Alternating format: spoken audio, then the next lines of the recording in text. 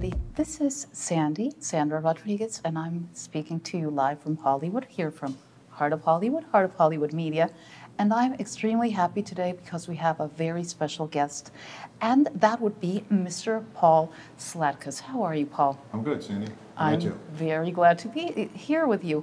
And uh, to all of you out there, I think there is no person that would be better suited to talk about uh, different stages uh, in entertainment throughout the decades, and certainly about the evolution of entertainment in recent years than Mr. Paul Sladkus. His career spans over 45 years in both TV and marketing. Paul, you need to tell me about back in the day when you were working for CBS TV, maybe with shows such as All in the Family or Sonny and Cher, and all those wonderful shows that we all remember. Okay, well, thank you, and it's a big honor to be here in the heart of Hollywood. Oh, thank All you. right, here on uh, Hollywood Boulevard and uh, and Vine, let's call it, okay? and so uh, it's a great location, and uh, well, I'll, I will start off because uh, actually my buddy who used to have his office after uh, he, he left CBS, Peter Keiko, he and his buddy Paula Abeda had an office right here on Hollywood and Vine. So I, I was in, I'm a New Yorker, and uh, the, the suburbs of New York, Tarrytown, and uh, I came cross country with my wife at the time, and I changed in farmers market.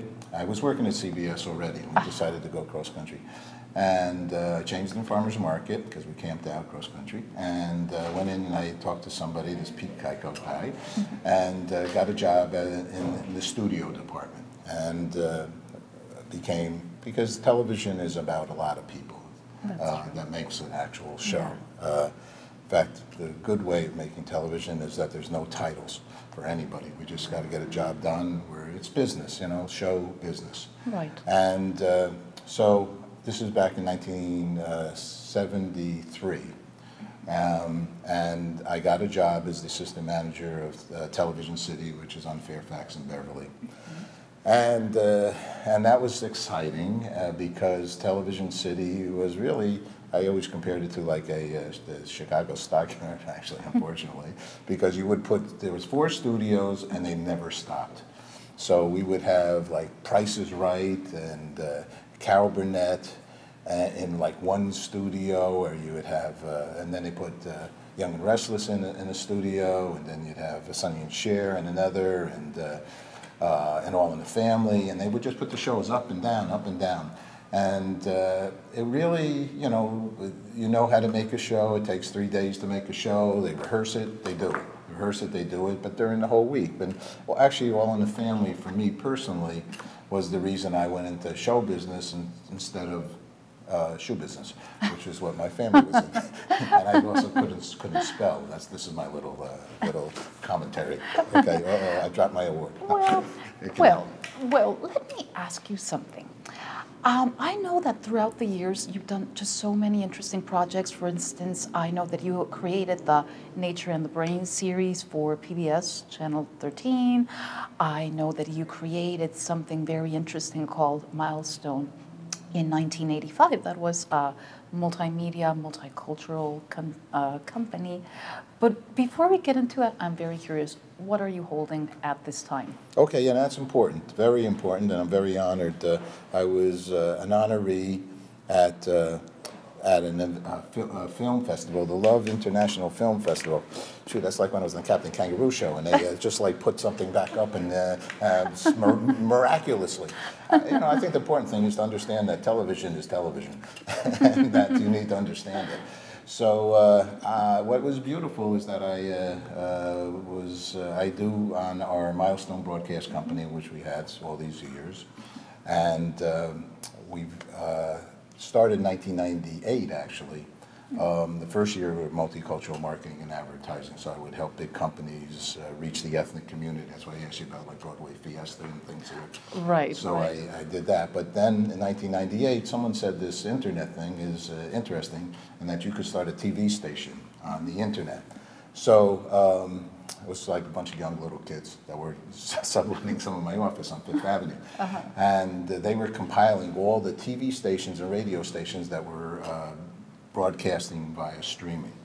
Um, and uh, so I've been doing that kind of, uh, and I called it good news broadcast because the reason I did go into this TV thing, which I said mentioned All in, All in the Family, I don't know if I got to that, but All in the Family taught people, it was educational um, and uh, um, uh, hilarious, but you learned about a bigot, uh, Archie Bunker. And so you learned it, it was, uh, you realized types of people. Right, right. And so um, here, uh, so now we've made like like 5,000 shows now we have on our Good News broadcast.tv or Good News Planet.tv or Good News to Go. Um, and uh, one of the people that I recently, well, I interviewed, Atta Shivanti, uh, has an organization called the Lotus uh, Light uh, Children's Charities. And I, I, I, Atta is a cool guy and a, and a, a real uh, great uh, humanitarian, I'll say. Um, and he uh, invited me. He has a, in addition to his charitable outreach, he has a uh, what he's calling the Love International Film Festival. All right. And last night um, they had on the 22nd of uh, of July, um, depending on you broadcast this show. Um, then uh, um, he was kind enough to honor our Peace Day efforts, which we've been involved since uh, 2002. Very interesting. And for instance, people that were present at the event last night, what did they see or what was going on then?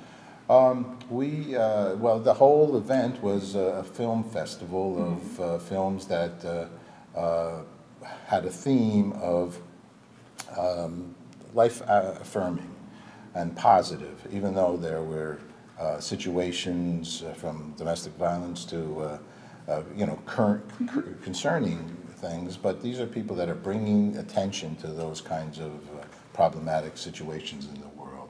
So the fe- uh, festival was uh, wonderfully done, and uh, I was very honored to be there. That sounds wonderful. Is it a yearly festival that we can look forward to? Yes, it is, and it's out here in LA, and, uh, and uh, they did a great job.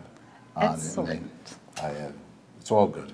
Well, that's a wonderful thing you're doing. But also, I know that you're working on this. So what this is, Mm. sorry, this is the Star Diamond Award. So, I- you know, actually, I ended up giving uh, Atta a, uh, an award. I never give awards. Actually, everybody deserves an award. Uh, You know, it's really more recognition in this world. Right. Um, And so, um, because I'm working with this, this is the Five-Star Diamond Award, give it to like the Beverly Hills Hotel and some of the most luxurious uh, uh, restaurants and uh, um, hotels, and I just gave it to Donald Trump. And so, uh, well, no, I gave my Peace Day uh, Hug a Planet to, to the president. And, and this actually, Trump was the, the general chairman of this organization for 25 years. This was started by Frank Sinatra in uh, 1949. And they've given it to lots of good people. And they're very involved with the Muhammad Ali Foundation and Toys for Tots. So there's a lot of do-gooders, very successful people that just started just like everybody else, and uh, um, like Donald Trump, and uh, um, you know, just people that work hard and have, have succeeded in, in this world. So, uh, um, so I'm helping them. They've asked me to find what I think is appropriate. That's excellent. And this magazine, by the way, is quite spectacular. It's a it is. beautiful, glossy magazine. I hope to get a chance to read it fully if you Okay. would let me. But uh, I also wanted to ask you, before we need to say goodbye, what advice would you give a, um, a person starting out in the entertainment industry at this point in time? Well, I think it's important to just have passion in whatever you're doing, whether if it is uh, media and communications. Uh, you know, it's wonderful if you know that that's really what you want to do. It's not the worst thing if you get into it and you realize you don't want to do it. And I think if you do want to do it, then you have to take the ups and the downs, find yourself positive people to uh, associate with, um, the, who uh, encourage you, uh, no matter what. As I said, you know, we don't need names and titles and things. Just get near people who, uh, who like what they're doing and uh, are producing something that you believe in or I want to, want to work with. Well, that's an excellent point of view from Mr. Paul Sladkus. once again, one of the foremost experts in TV and marketing. Thank you so much for joining us today, Paul, here at Heart of Hollywood Media. Thank you very much, Sandy, and uh, and you did a real good job. See, I'm a host so often, and I love when someone you know more about me than I know about me. So thank you, thank you very much. Thank you so much, Paul. And to all our friends out there, please uh, continue watching our interviews on Heart of Hollywood Media. And remember, Heart of Hollywood is your go to source for modern filmmaker needs of all sorts. And also, we have entrepreneurial networks and certainly media exposure for those who want to further their careers. So, thank you. Thank you once again, Paul. That's great. Bye.